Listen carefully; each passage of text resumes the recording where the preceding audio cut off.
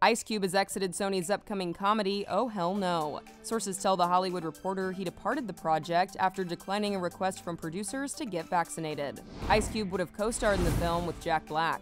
Sony had no comment. A personal representative for Ice Cube declined to comment, and his agency, WME, declined to comment.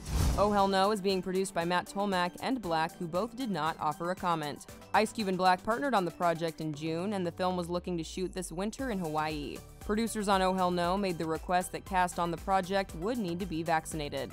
The film is pushing back its production start. Black injured himself in June while filming a gag for an episode of Conan, but is still attached to the project. Sources tell THR the studio is looking to find a replacement for Ice Cube as the star walked away from a $9 million payday. Vaccination among cast and crew in Hollywood has become an issue on multiple projects. An agreement between guilds and studios unveiled in July states producers will have the option, quote, to implement mandatory vaccination policies for casts and crew in Zone A, where cast and crew work in close proximity, on a production by production basis.